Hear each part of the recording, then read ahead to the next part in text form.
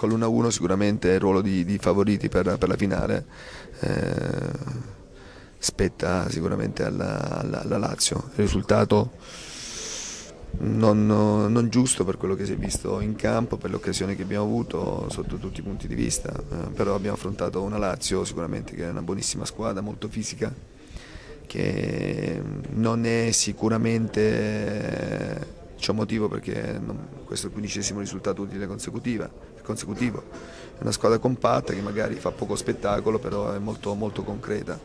E, ehm, da parte nostra e da parte mia sicuramente c'è la soddisfazione che nonostante tantissime assenze che poi sono anche aumentate prima, perché, prima della partita perché Padovin ha avuto la febbre, doveva giocare, poi Bonucci ha avuto questo colpo al coach, è dovuto uscire.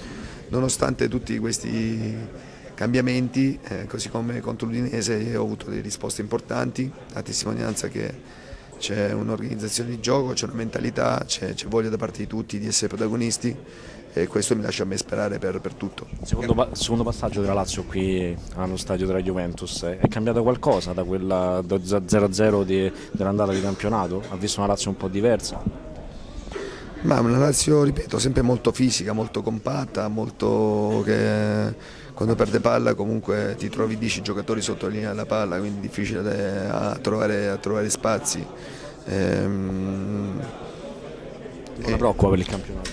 No, no, no, mi preoccupa assolutamente, eh, mi preoccupa la Lazio, mi preoccupa il Napoli, mi preoccupa l'Inter, mi preoccupa il, il Milan, cioè, eh, rispettiamo tutti, è inevitabile che non abbiamo paura, però rispettiamo, abbiamo grande rispetto perché sappiamo che sono squadre che ci possono dar fastidio in, in campionato e poi martedì ci sarà il, il ritorno della, di questa semifinale. Eh, mi auguro che vada avanti.